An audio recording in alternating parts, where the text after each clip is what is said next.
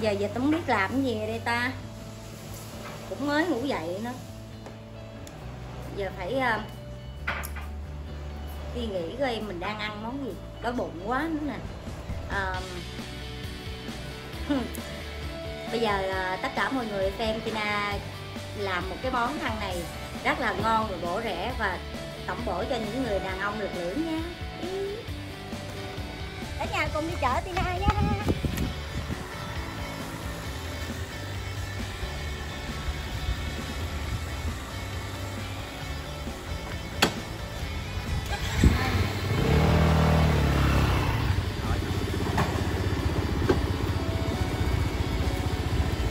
người, sau một một hồi giặt lộn với bà bán một giờ lộn bây giờ Tina đã té vào bếp để làm món ăn khác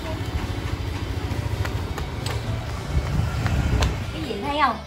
Đâu phải dễ dàng nào mà Tina mà làm clip mà mà không cực khổ như vậy đâu. Cực lắm.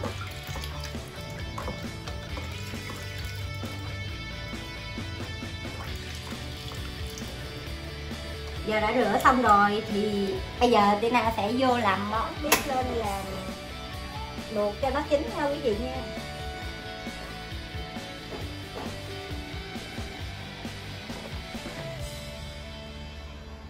Sau khi đợi hột vịt đã chín, Tina kể một câu chuyện cho quý vị nghe.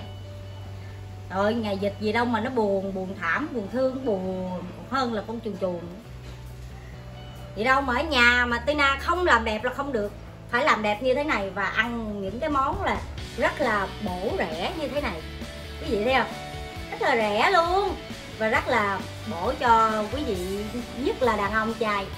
À, quý vị nha. Đợi chút xíu mình sẽ hello sau một và hồi mà luộc hộp vịt lộn thì bây giờ nó đã chín rồi nha quý vị. Bây giờ em sẽ đem ra bàn và các các quý vị đều biết rồi đó. Ta làm gì đây?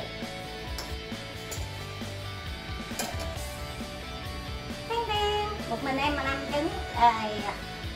phải lấy thêm cái cái chung nữa. Cái cái chung. Cái cái chung là nằm chung đầu đây. Cái này không biết được không? Đây. Ly uống rượu.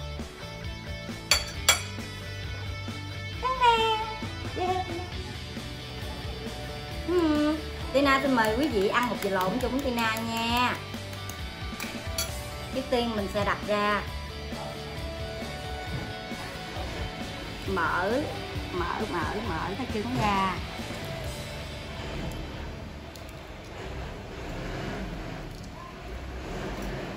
Ngon quá quý vị ơi Chịu hết nổi. Đói bụng mà gặp cảnh này chịu hết nổi.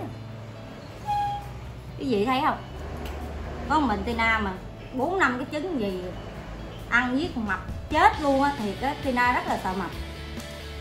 Đó hả? Giờ phải sao giờ ước có người nào đó lại ăn tiếp Tina thôi là cũng được nữa. Mừng lắm luôn á.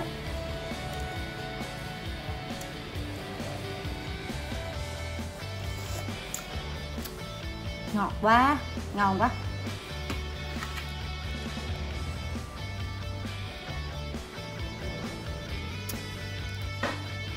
Ừ, ừ. này là chỉ có ăn vịt cho nó qua dịch thôi. Nó này chung á nè cái gì thấy không? Đi lột vịt lộn là phải lựa như tina nè. Con nhỏ nhỏ vừa chứ không phải nhỏ quá. Vừa ăn thôi. Thấy không? Đừng có lựa mà mấy cái con mà lông lông lá nhiều quá em sợ lông lắm. Ừ, nhắc tới lông em dị ứng. Em rất là sợ lông giờ nói mà muốn gì giỡn cho gà luôn. Nè và ăn những cái con như thế này thì à, nói chung là cũng có lông nhưng mà vừa vừa, chứ không có lông nhiều. Lông nhiều quá ăn không nổi. Ừ. ngọt nước. Bổ béo nữa. Cứ một muỗng một muỗng à, làm phải ăn ngọt cá rau dăm này à, ăn nhiều không có tốt, không tốt cho sức khỏe, nhất là đàn ông. Nhất là mấy anh trai mà lực lượng đó. Ăn nhiều ờ, quá không tốt không tốt cho sức khỏe. Như tina cũng vậy.